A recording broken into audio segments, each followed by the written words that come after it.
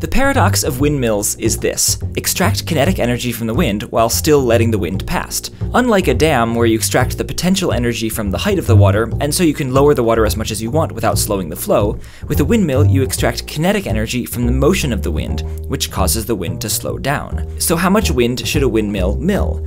Well, the maximum possible amount of energy you can extract from the wind is simply the difference between its initial and final kinetic energy. Kinetic energy depends on the speed squared, so if the outgoing wind speed is, say, half of the incoming speed, then the final wind energy will be a quarter of the initial energy, meaning that three quarters of the energy was extracted when the wind passed the windmill.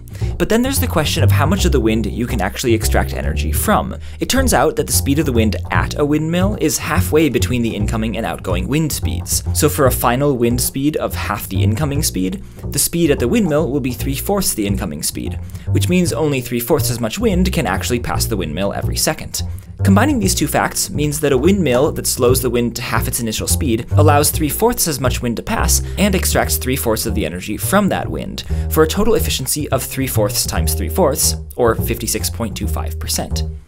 Doing the same math for other possible wind speed reductions, you find that the most efficient windmill possible slows the wind to a third of its incoming speed. Reducing to one third speed achieves a kinetic energy efficiency of v squared minus v over 3 squared, or 88.88% of the energy of the wind being extracted. And reducing the wind to one third speed after the windmill means the wind passing the windmill is going at two thirds speed, so two thirds as much wind passes through the windmill. And 88.88% energy extraction from two thirds of the wind results in an overall efficiency of 59.2 259%. A windmill that slows the wind down below one third speed will get a higher percentage of the energy, but from even less wind, for a lower overall efficiency.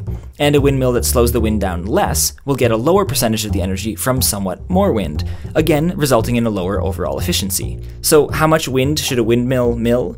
Two thirds of it, for 59% efficiency in extracting the energy.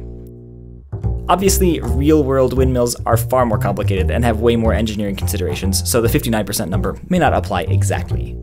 Okay, Henry here. I've put a bonus video on Nebula that covers some of the details I had to leave out of the main video. Nebula is the Streamy Award nominated independent streaming service that's the co-sponsor of this video, built by and for a collection of educational video creators, including Real Engineering, Mike Boyd, Up and Atom, Jordan Harrod, and me. And Nebula has partnered with CuriosityStream, which offers thousands of documentaries and nonfiction titles, to give you access to both platforms in one go. I really enjoyed watching the European Inventor Award episode about Henrik Stiesdal, who has been intimately involved involved in the invention and development of modern wind turbines, building the first offshore wind farm, and more.